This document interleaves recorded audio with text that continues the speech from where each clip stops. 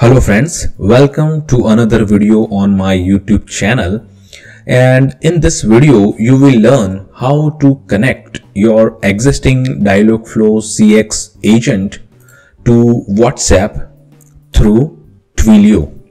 We will be using Twilio API to receive and send messages to WhatsApp.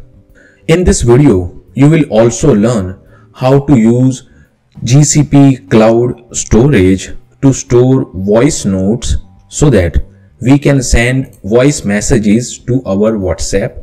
The code that I'm going to show you in this video is available on my GitHub and the link for it is in the description of this video. So the first thing is that let's first understand the flow of what we are building so a user sends message on WhatsApp that will be received by Twilio. We will create a webhook. Twilio will send the request on our webhook. With the help of Dialogflow CX API, we detect the intent of the input query, generate response from Dialogflow, and we receive our text response. In this particular video, I'm going to show you how you can send only voice note of the response, but you can also send text messages. In order to send voice notes, we will first use OpenAI TTS, that is text to speech, and convert the response from Dialogflow CX to audio note. And in order to send a audio note, we will need a public URL of that audio. That's why we're gonna save it on GCP cloud storage get the public URL of the audio note and then send the audio note back to the user. So this is our flow. Now here in the code what I need to do first I need to do npm i to install all the required dependencies.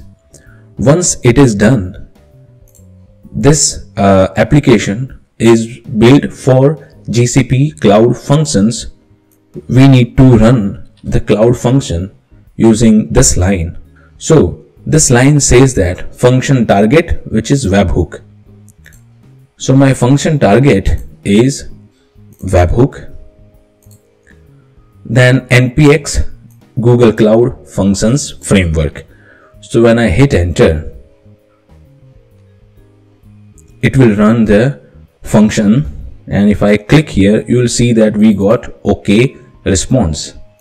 Now in order to expose my local environment to internet I will open a new terminal and I'll expose my ngrok on 8080 port and when I click here hopefully yeah we see OK response.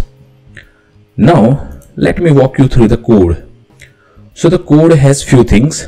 First, we need some environment variables, uh, Twilio SID, Twilio auth token that you will get from your Twilio project. This from when you are using WhatsApp sandbox on Twilio, this number is gonna be same. Then you will need OpenAI API key. After that, you need to go to GCP console and once you go there, you need to select the project on which you want to work and then download the service account credential from uh, IAM uh, and service.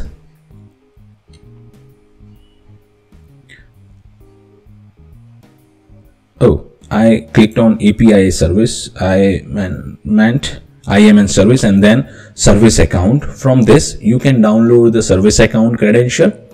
And if you run here uh, cloud storage, you will redirect it to cloud storage. You need to create a bucket.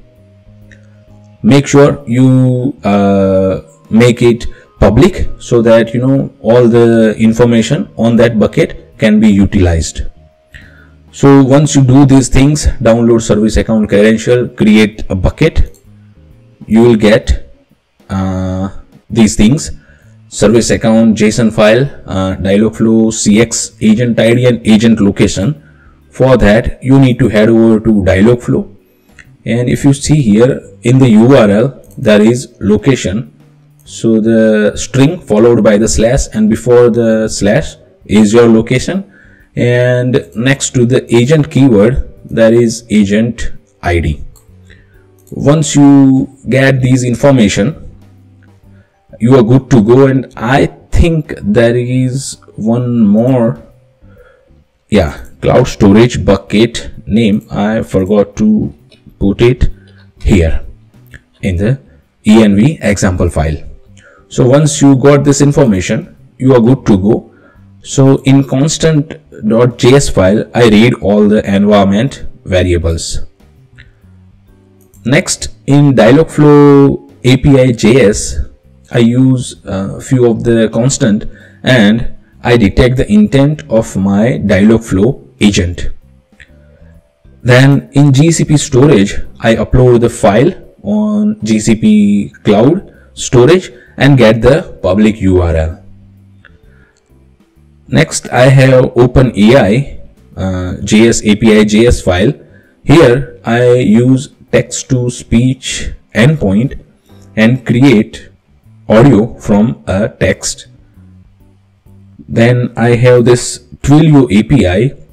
Here I have this send Twilio message. So I use Twilio package to send message on a WhatsApp number. Now I have this index.js which is express application. Uh, these are some configuration just to make sure everything in the request is understood by the application. Then I have two route, home route and Twilio route. So home route is just to make sure that everything works. The OK response uh, when we ran the application was from here. Next, I have a Twilio route. So this Twilio route receives incoming request from Twilio. We process the request. First, detect the intent uh, convert the text to speech, store the speech or the audio on GCP and send message back to Twilio. So now since we understood the application and the structure of the application, let's see it working. So this is the URL. So I'll copy this URL. I'll head over to Twilio and in the messaging, write out send a WhatsApp message, I'll connect it to my sandbox and here the route is Twilio and I think webhook but let me make sure yeah so you can see here uh, Twilio slash webhook. So I'll say Twilio slash webhook and I'll save this.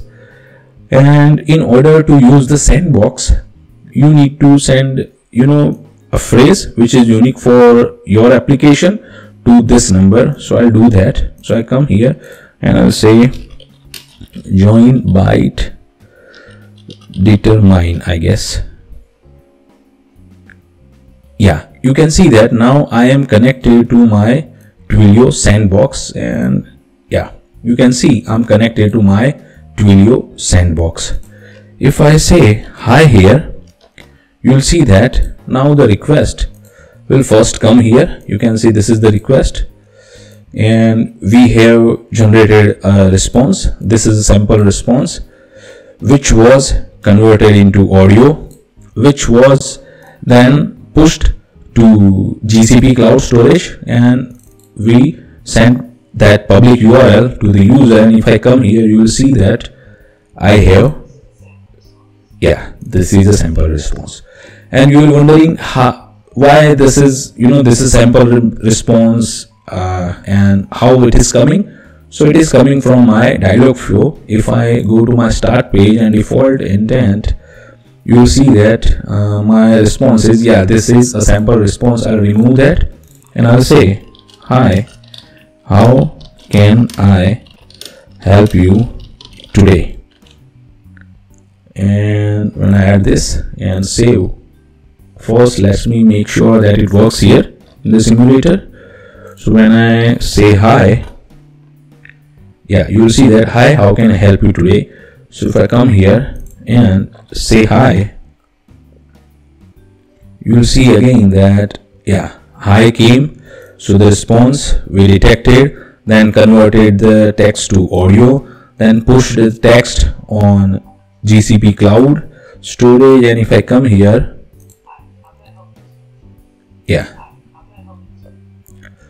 So this is uh, how you can connect your uh, Dialogflow CX to WhatsApp through Twilio.